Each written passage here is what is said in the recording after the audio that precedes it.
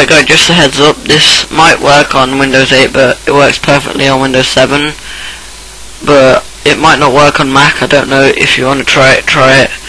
So yeah, enjoy the video. Alright, hey guys, some of you may be wondering how to get uh, the forest for free because you have to pay obviously but like you can get this for free so all you need to do is go on the link I've put down below and write in the captcha thing so ALJOWF authorize download. Then it should start downloading. There you click on this. No viruses by the way. Open with you know download. Um it's gonna take forever to download now but when it does download it will you open this and then it'll come up what the fuck?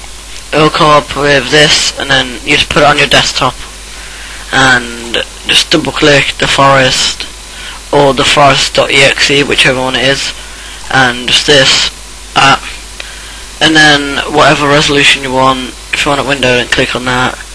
Whatever setting you want just play. I'm not going to do it now because it will like glitch out.